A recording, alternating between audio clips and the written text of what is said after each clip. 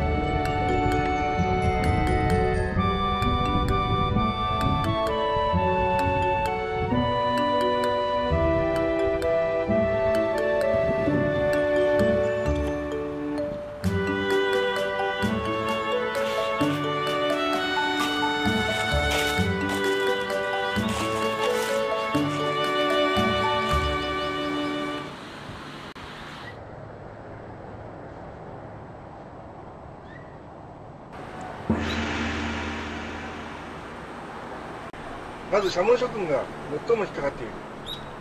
性欲について。これは男性にしろ女性にしろ。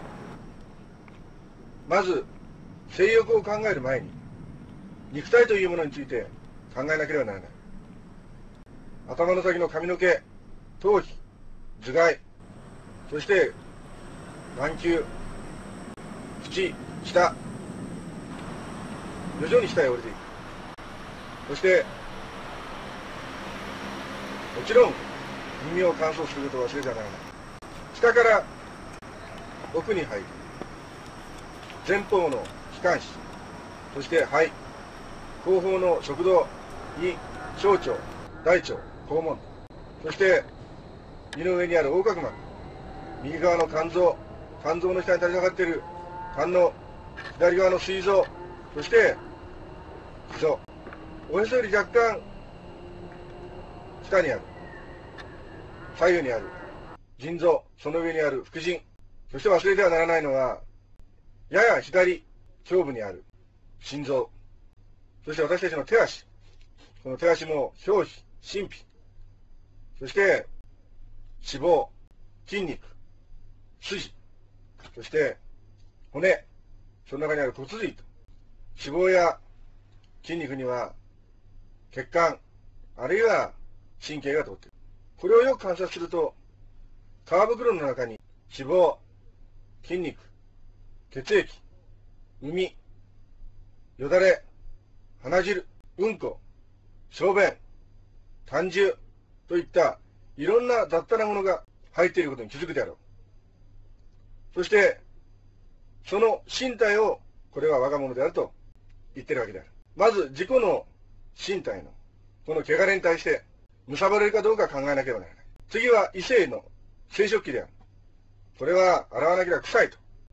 そして本質的には進出物の出るところである。一体このどこにその愛着する対象があるんだろうかと考えならば性欲の貪りというものは消えるはずである。これを毎日毎日1回、2回、3回、10回、500回、1000回と乾燥していけば確実に異性に対する減塩は消えるはずである